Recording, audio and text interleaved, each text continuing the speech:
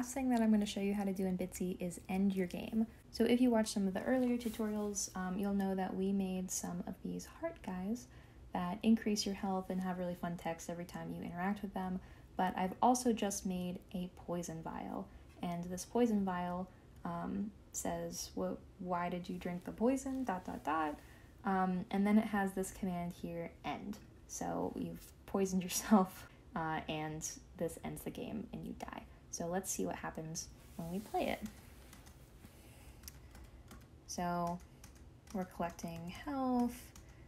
We have seven hit points. Um, the text is really fun.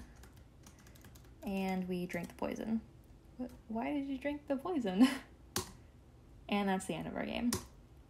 And then basically, yeah, it just restarts. So that's one way to end it, but there is another way to end it that I'm going to show you. So let's get rid of these guys real quick.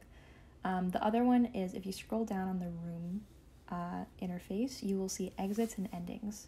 So if you give that a click, um, the, the default is that there are no exits or ending in this room yet. You can add one with this tool. So I do want to add one. So let's add an ending. Um, and let's put it, I guess, it doesn't really matter. Let's just, oh, I have to move it on this. So let's move it to over here. The end. And let's see what happens when we interact with that. Um, ooh, there's no actual visual indication. So let me go ahead um, actually and just give it a little bit of background just so um, we know what's in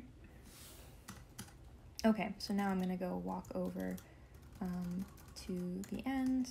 So, the end. So that's pretty easy. So there, there's two options to end your game.